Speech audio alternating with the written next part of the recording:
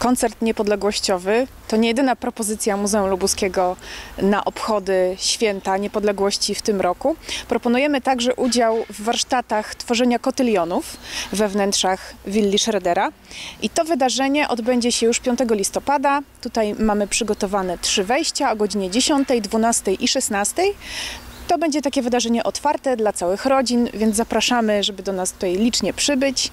Myślę, że te wnętrza nasze rzeczywiście sprzyjają temu celebrowaniu patriotyzmu w y, takim duchu wspólnotowości i myślę, że naprawdę będzie bardzo przyjemnie. Na warsztaty przygotowaliśmy y, materiały papierowe głównie, ale też wstążki, oczywiście w barwach narodowych. Zapraszamy w niedzielę do naszej sali edukacyjnej, gdzie pod czujnym okiem e, pań edukatorek będziemy właśnie tworzyli no, takie symbole narodowe, które będzie można przypiąć w połać płaszcza i, i rzeczywiście wybrać się na przykład na ten niedzielny spacer z wypiętą dumnie piersią, prezentującą właśnie te barwy narodowe.